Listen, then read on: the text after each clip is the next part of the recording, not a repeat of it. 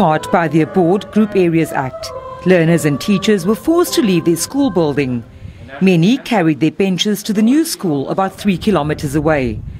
Half a century later, and in the spirit of restorative justice, they returned with two of the original desks that will take pride of place in the old building.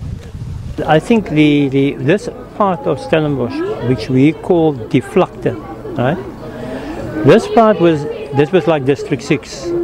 It was a cultural home to you know, a, a community that didn't necessarily live here, because you had people from Peniel and Kylemore and Jamestown and Raithby, and even people from beyond the borders of um, Stellenbosch that came here. And when they came here, they didn't come only to the school, but they also came to the churches around here.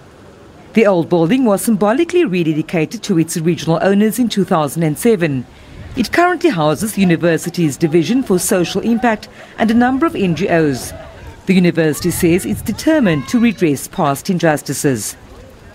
The university benefited from from forced removal in the past, uh, in that uh, these buildings then, uh, following removal of, of uh, inhabitants of, of the Vlakte of this area, were then moved to a, a new area in a new school. And so today, what we're able to do is to actually symbolically return to this area, and where we're going to create a living museum at the old Lückhoff school that depicts. Um, all the things that uh, actually took place in that time.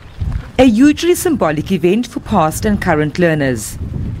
I personally feel like this was such a great honor to do for the school and for the community in S1 because like this was a tragic time. I really feel like Lückhoff is a good school because uh, there's um, a big history behind the school.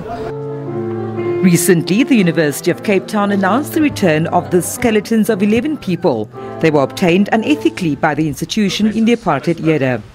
Vanessa Puna, SABC News, Stellenbosch.